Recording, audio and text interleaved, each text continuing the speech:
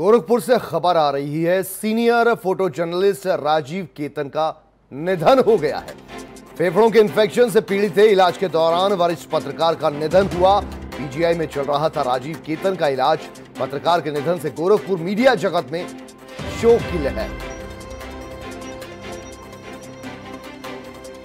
तो पीजीआई में चल रहा था राजीव केतन का इलाज। पत्रकार के निधन से गोरखपुर मीडिया में शोक की लहर।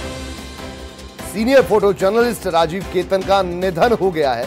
इस वक्त ये बड़ी खबर आ रही है, फेफड़ों के इन्फेक्शन से वो जूझ रहे थे। इलाज उनका पीजीआई में जारी था, लेकिन इलाज से कोई फ़ायदा नहीं पहुँचा। और अब ये दुखद खबर आ रही है पीजीआई में उनका जो इलाज चल रहा था, उसी दौरान उनका निधन हो गया है।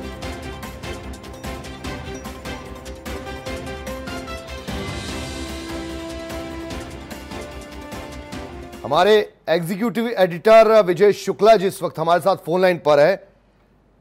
विजय जी, आपसे जानना चाहेंगे, राजीव केतन जी, इनका नाम गिना जाता है फ़ोटो जर्नलिस्ट में एक बड़ा नाम इन्हें कहा जाता है। इनके बारे में दर्शकों के साथ आप कुछ शेयर करना चाहेंगे? जी दरअसल राजीव केतन अगर हम पूरे यूपी की बात करें तो एक ऐसा नाम नहीं था जिसको सब लोग जानते हों। लेकिन अगर पूर्वांचल की बात करें तो राजीव केतन एक बड़ा नाम थे।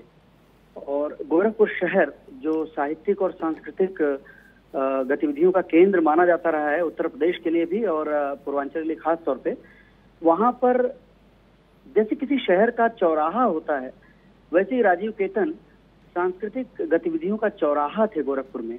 जी। और उनकी बहुत ज़्यादा उम्र नहीं थी लेकिन कुछ दस दिन पहले ये खबर आई मेरे पास कि उनकी तबीयत खराब है और उन्हें एडमिट कराया गया है। तो एक सामान्य बात होती है किसी भी की भी तबीयत खराब होती है तो ऐसा नहीं लग रहा था कि वो सबको छोड़कर चले जाएँगे।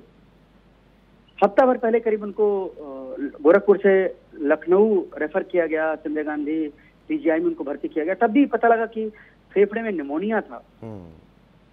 पहली खबर सुनने पर ऐसा लगा था कि उन्हें कोरोना तो नहीं है हालाँकि मेरी जानकारी में, जहाँ तक मेरी जानकारी थी, उनको कोरोना नहीं था, लेकिन अभी ऐसी खबरें भी आ रही थी कि उनको कोरोना पॉजिटिव भी बताया गया।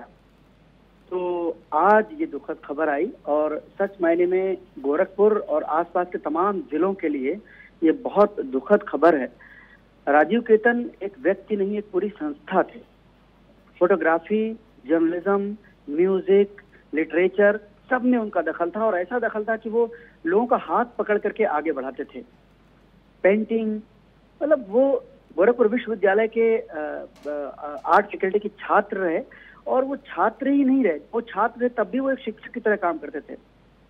तो एक ऐसे व्यक्ति का चले जाना उस इलाके के लिए एक बहुत बड़ी क्षति है और व्यक्तिगत तौर पर मेरे लिए बहुत बड़ी क्षति है क्योंकि हम्म। मेरे परम मित्र थे।